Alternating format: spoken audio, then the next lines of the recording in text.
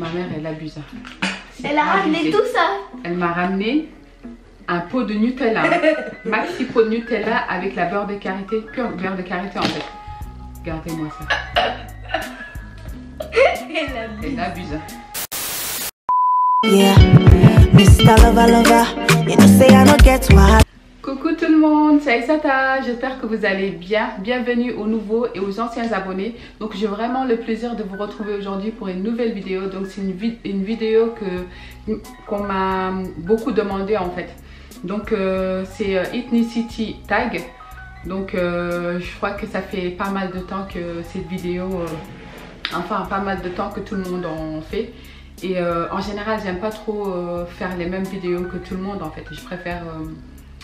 faire euh, mon truc à moi en fait. Donc voilà, et, euh, mais on m'a demandé quand même pas mal de fois. Donc du coup j'ai décidé finalement de le faire. Donc voilà.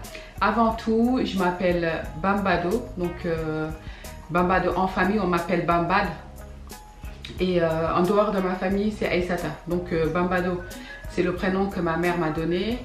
Et euh, Aïsata, c'est le prénom que mon père m'a donné en fait. Donc euh, je suis moitié mauritanienne, moitié sénégalaise. Donc euh, ma mère c'est une mauritanienne, mon père un sénégalais. Donc euh, je suis née à Nouakchott, j'ai grandi à Nouakchott. Donc dans ma vie j'étais deux fois au... c'est ma fille là qui est en train de me déranger.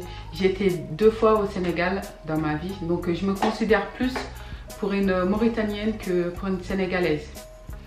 Donc euh, voilà, après euh, mon père, je l'ai pas, on l'a pas connu en fait. On est deux, j'ai un grand frère et euh, un petit frère et deux petites sœurs. Donc celle que vous voyez souvent, Juldé et Mariam, vous l'avez jamais vue en vidéo. Donc euh, voilà, et je suis l'aînée en fait euh, comme fille et j'ai un grand frère qui vit à Paris. Donc on est en tout 5. 5 et euh, mon père a divorcé, enfin mes parents ils ont divorcé quand j'avais l'âge de, je me souviens même plus, j'étais fort jeune et du coup j'ai pas vraiment connu mon père.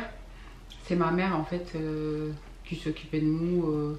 On a, manqué de rien donc c'est mon père euh, a repris contact avec nous là y a récemment mais on s'appelle de temps en temps. Euh, ceux qui connaissent pas la Mauritanie, en fait la Mauritanie c'est à côté du Sénégal, c'est au milieu du Sénégal, euh, Maroc, Mali, donc c'est à côté, l'Algérie aussi. Donc on est les morts en fait. On parle, notre dialecte en fait à Mauritanie c'est Hassania. Donc, euh, et là-bas il y a plusieurs langues, on parle plusieurs langues, mais la, la langue euh, officielle en fait Mauritanie, je sais pas si ça se dit officiel, mais la langue euh, qui est beaucoup plus parlée c'est le Hassania en fait. C'est ce que ça s'appelle, c'est le même dialecte en fait que le Sahraoui. Et, et aussi il y a beaucoup de Halpoular comme nous en fait. Moi je suis une Peul et on parle dans ma famille on parle Poulard, donc euh, je suis une Halpoular. Et il y a les- beaucoup de Soninké aussi et pas mal de Sénégalais. D'ailleurs c'est à, à Nouakchott que j'ai appris à parler Wolof. Et euh, parce qu'on a, on a pas mal de connaissances, des amis euh, Wolof en fait qui vivent en, en Mauritanie. Voilà. Donc on m'a posé la question si j'étais mariée. Oui, je suis mariée et j'ai deux enfants, deux filles, Syrah et Aminata, comme vous l'avez euh, déjà remarqué. Voilà. Et euh, on m'a demandé mon- le son Peul préféré. J'ai pas de Peul préféré en fait. Et en fait, franchement, je vais pas vous mentir, je connais même pas des, des, euh, des chanteurs ou des chanteuses mauritaniennes parce que j'ai quitté la Mauritanie en, en l'an 2000. Donc je suis arrivée en France à l'âge de 18 ans et je suis retournée deux fois. Et euh, j'écoute pas euh, trop les, les musiques hassania et tout ça. Donc euh, les musiques que j'écoute, c'est les musiques sénégalaises en fait. Donc j'écoute Aïda Sam, je l'adore, je l'aime trop. Donc après, il y a Pape Diouf, il y a Viviane, j'écoute Pape Diouf, j'écoute beaucoup Pape Diouf et Aïda Sam. Comme vous l'avez déjà remarqué, dans certaines vidéos, je chante euh, sa chanson, ma chanson préférée. Et euh, voilà. Et après, après, tu portes des vêtements euh, halpoulard Oui, j'en porte des vêtements halpoulard Je vous mettrai les photos, mais j'en porte pas tous les jours. Mais quand il y a des fêtes et tout, j'en porte des, ensembles de bazin et tout. Et euh, en Afrique, en fait, enfin en Mauritanie, en Nouakchott, je portais beaucoup les, les En, Mauritanie, on appelle ça les melahf en fait. Je vais vous montrer d'ailleurs, j'ai demandé à ma mère de m'en ramener deux parce que j'aime trop le mettre en fait par exemple le vendredi ou euh, quand euh, je suis à la maison. Voilà, ma mère, elle m'a ramené celui-là. C'est un rose. Je vais vous montrer comment ça se porte. Tu peux retourner là-bas. Et là, c'est un jaune, un beau jaune. Donc euh, voilà, je vous montrerai tout à l'heure comment ça se porte. Donc après, pour les questions... Est-ce que tu vas aller en vacances dans ton pays avec ta famille? Je kifferai de ouf. En fait, elle trouve toujours le moyen de s'incruster dans mes vidéos en fait. C'est un truc de fou. Donc euh, oui, j'aimerais trop, j'aimerais vraiment aller en vacances avec mes enfants et Christophe en Mauritanie. Et ça serait vraiment un kiff en fait. Mais on prépare, ça se prépare en fait, parce qu'il faut se préparer. J'ai une grande famille là-bas et quand je, quand j'irai là-bas, il faut que j'amène des cadeaux pour tout le monde et tout. Et donc... Euh, il faut que je me prépare vraiment financièrement. Euh, si je parlais poulard, oui, je parle poulard. Moi aussi, je parle poulard. Je parle poulard euh, avec mes enfants. Je parle poulard à la maison avec mes enfants et en famille aussi. Avec ma Avec ma soeur, on parle poulard. On n'arrive pas à parler français entre nous, on parle poulard. Et euh, avec mamie aussi. avec ma mère, poulard. Donc, famille un peu, poulard en calda, comme poulard, benan poulard, ko ɗemgal am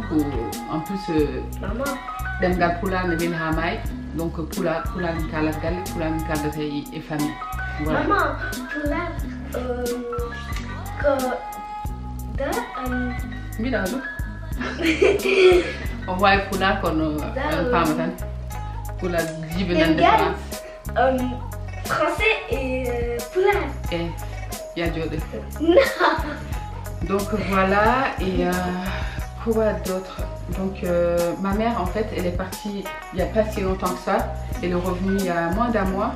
Elle est partie en marché donc euh, je lui ai demandé de, me ramener à beurre de karité en fait. Ma mère elle abuse. Elle a ramené tout ça Elle m'a ramené un pot de Nutella. maxi pot de Nutella avec la beurre de karité, pure beurre de karité en fait. Regardez-moi ça. Elle abuse. Donc ça, pur beurre de karité, ça, ça sent pas super bon, hein, mais c'est trop bien pour la peau, pour les cheveux. C'est vraiment pas mal. Si vous mettez ça, on, sentira de, de loin. Mais bon, moi j'adore l'odeur et ça me rappelle euh, quand j'étais à Afrique. Ça sent plastique, Va t'asseoir. Euh, c'est vraiment J'adore ça. Et en fait, ce que je fais de temps en temps, c'est de le mettre le soir. Je le mets partout sur mon corps. Et le lendemain, je me lave et je me retrouve avec un, une peau tellement douce. Et là, c'est celle celles qui m'ont sauvé la vie. Là. Pendant que j'ai arrêté la dépigmentation. Celle-ci, j'en avais plein et j'ai mettais que ça. Elle m'a ramené ça aussi. Voilà. Donc, euh, beurre de karité, c'est pas ce qui va manquer dans les prochaines années à venir. Hein. Ça, je vous le dis. Tu peux dire merci à mamie quand même. Hein. ah ouais, merci à mamie. Donc, euh, je vais vous montrer. Donc, je pense que j'ai tout dit par rapport à, mon pays. Donc, euh, il faut savoir que je parle aussi euh, euh. Donc, il n'y a pas beaucoup de Hassania. Je, suis sûre que j'ai même pas de... Mais assis-toi là-bas. Des Hassania en fait sur ma chaîne si vous êtes là, j'espère que vous allez bien. Comme on dit chez nous, comme le bas, Ça me manque. Ça fait longtemps que je n'ai pas parlé Hassania. Voilà, je parle Hassania et euh, je parle arabe aussi. L'arabe, euh, c'est ce qu'on apprend à l'école en Mauritanie, on apprend l'arabe littéraire et euh, en français, on pas, on apprend, enfin à l'époque quand moi je faisais mes études, c'était une fois un cours dans la semaine, un cours dans la semaine en français. C'est pour ça que quand je suis arrivée en France en 2000, j'ai galéré, je parlais pas du tout la langue. Je savais lire et écrire, mais euh, parler c'était c'était pas facile. Je comprenais rien et je parlais pas du tout la langue. Et euh, aujourd'hui, je suis vraiment contente de pouvoir parler la langue française, même si c'est vraiment pas euh, facile par rapport au, féminin, masculin. Au début, c'était pas. Même aujourd'hui, souvent, ça m'arrive de me, de me tromper et tout. Mes filles, elles ne euh, se gênent pas à me, à corriger en fait. Voilà, donc du coup, euh, mes études, j'ai fait des études en arabe. Donc euh, j'ai arrêté euh, à l'âge de... j'ai pas été loin. J'ai arrêté à l'âge de 16 ans mes études. J'ai arrêté à l'âge de 16 ans. Et c'est déjà, les cours pour aller coiffer. J'ai commencé à coiffer super tôt parce que ma mère c'était une coiffeuse. Donc je faisais des tresses et tout. je faisais genre, j'étais à l'école et j'allais coiffer. Et je revenais à la fin de, l'école, comme si euh, j'étais à l'école en fait. Et à la fin, arrêté. Je pas faire ça, hein, ma chérie. Donc euh, après j'ai arrêté et euh, quand je suis arrivée en France j'ai dû faire des formations de remise à niveau et tout et ça s'est super bien passé et donc la langue française vu que j'étais vraiment intéressée et je savais qu'il fallait que j'apprenne la langue pour si je veux aller vraiment loin dans la vie et que pour m'intégrer en fait. Et j'ai tout fait pour, euh, pour apprendre la langue. Et aujourd'hui, j'ai pas à me plaindre, ça va, j'arrive à, bien me débrouiller. Voilà. Donc, euh, je vais vous montrer. Donc, je trouve que, en fait, je papote vite parce que je dois sortir. Et c'est rare que je parle vite comme ça, mais tant mieux parce qu'il y en a qui me demandent de, parler vite. Mais bon, c'est pas de ma nature. Hein. Moi, je suis quelqu'un de calme et euh, j'ai l'habitude de parler doucement, je suis quelqu'un de posé, comme vous l'avez déjà remarqué, je suis quelqu'un de calme et je parle doucement en général et euh, je suis comme ça. Je veux, je veux pas euh, changer euh, pour faire plaisir, ni je suis comme ça, je suis comme ça. Voilà, donc je vais vous montrer, ça s'appelle Melef. Donc la couleur jaune comme ça, là, j'adore ça. Quand j'étais en Mauritanie, je portais que ça. Et quand t'as Donc, euh, on, voyait jamais, euh, on voyait jamais euh, mon corps. Mes femmes, on voyait jamais. J'étais tout le temps en melahfa. En fait, je traînais beaucoup avec les, les, les Mauritaniennes en fait. Les, parce que là-bas, il y a les Hartani, il y a les, les Bidani en fait. Et moi, mes amis, c'était plus les, des Arabes de chez nous en fait et euh, je parle couramment. Enfin, maintenant c'est encore plus, difficile qu'avant, mais euh, pour euh, Hassania, je parlais mieux Hassania que ma, langue maternelle. Mais vu qu'ici je parle avec personne en, Hassania, et du coup j'ai du mal maintenant pour. je comprends tout, hein, mais pour répondre, deux fois j'ai du mal à trouver. Mais bon, voilà, vous voyez, c'est facile comme ça et derrière. Ah oui, bah, bah ça, et après, ouais, aussi, et ensuite, je fais comme ceci, vous voyez. Et tu mets sur toi, tu Par fais. Contre, il, il est pas ah si non. long. Non, il est pas si long. C'est parce que, après, ah ouais, c'est moi. Mets, En fait, j'ai tu mets sur ta tête. j'ai fait n'importe quoi. Là, j'ai laissé trop de tissu en fait. Et du coup, euh, c'est pas bon. c'est pas bon. Dites-moi les filles si euh, parmi vous il y a des, des Mauritaniennes. Hassanienne. Ngoponan comme message et poulard. Somebody do my belt Donc vous me laissez un message en poulard comme je viens de dire. Et euh, ça me ferait vraiment plaisir de voir des Mauritaniennes. Voilà, et vous mes abonnés, c'est euh, ça fait plaisir de vous montrer euh, pour que vous puissiez me connaître plus en fait. mon passé. euh. J'ai vraiment beaucoup, beaucoup de souvenirs d'enfance. La Mauritanie me manque trop. Moi, c'est papy qui me manque. T'as même pas connu papy, donc arrête. Oui, mais je, mais je sais pas comment, comment il est. Un jour, on ira, quand on ira en Mauritanie, on ira voir papy. Oui. Donc, Mais faut trouver une maison là-bas. hein. voilà, ça suffit juste de. de, de, euh, comment ça s'appelle déjà D'attacher. J'ai fait petit comme ça. Comme ça, j'ai la, la longueur pour. Voilà. Nickel. Voilà. Et, Et et, ensuite- et après, tu fais comme ça. Comme ça.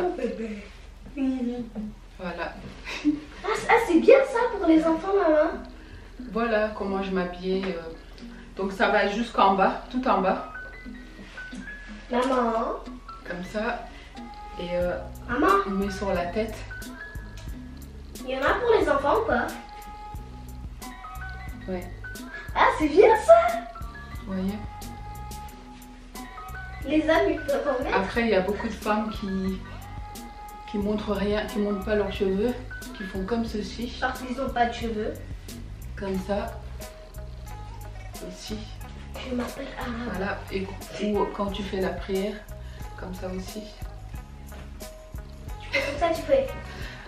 Voilà comment je m'habillais en Mauritanie. Et aussi, vous avez euh, genre des melafés euh, transparents en fait, que tu peux mettre. euh, Il y a beaucoup de styles. Parce que celui-là, il est épais, mais vous en avez des tissus qui sont légers, qu'on voit ce que vous portez en bas, en dessous, et euh, c'est vraiment pas mal. ouais, En tout cas, on est tranquille. C'est côté confort, euh, côté euh, euh, confort, ouais. Il n'y a, y a rien à dire. C'est trop bien. Et l'autre, c'est pareil. hein. C'est le même, même principe. hein. Voilà, c'est rose, rose et blanc. J'adore la Mauritanie. Franchement, la Mauritanie me manque beaucoup, beaucoup. Je vais tout faire pour euh, y aller euh, au moins euh, d'ici deux ans. D'ici deux ans au moins. Parce que ça me manque trop. Mon frère, il est là-bas en ce moment. Ma petite sœur aussi. Donc, ma mère, elle vient d'y- de rentrer. Et euh, ça me manque. Ça me manque beaucoup. Surtout la famille.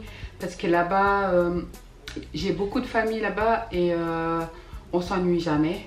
Et t'as toujours des choses à faire, il y a des fêtes. c'est vraiment, vraiment agréable en fait. Donc c'est pour ça qu'au début ici, quand je suis arrivée, j'avais du mal parce que on est enfermé, on est dans un appart, euh, alors que là-bas on a plus de liberté en fait. Et euh, ici, euh, boulot, dodo, rien à faire. Alors que là-bas, il y a toujours quelque chose à faire, il y a toujours du monde et on s'ennuie jamais. C'est vraiment génial. Si vous avez des questions, n'hésitez pas. hein. Je vous répondrai avec plaisir. Et surtout, comme d'habitude, commenter, liker et partager. Parce que j'aimerais bien que cette vidéo soit vue par pas mal de, de Mauritaniens. Missal Mignon. Donc, euh, n'oubliez pas de liker, de partager. Et euh, voilà. Donc, euh, on se dit à très bientôt pour une nouvelle vidéo. N'hésitez pas à me rejoindre sur Instagram, Snapchat, Facebook. Donc, euh, Instagram, c'est Make Perfect Bambado, comme ma chaîne YouTube. Et euh, mon Facebook, c'est Aïssa. Et mon Snapchat, c'est Bambado08. Donc voilà, comme ça au moins on pourra discuter tranquillement si vous avez des questions. J'espère que vous avez bien aimé la vidéo. Donc voilà, je l'ai fait avec plaisir et j'espère que ça vous a aidé à me connaître encore euh, plus. Donc euh, voilà, je vous aime et euh, on se retrouve très bientôt pour une nouvelle vidéo. Bisous, ciao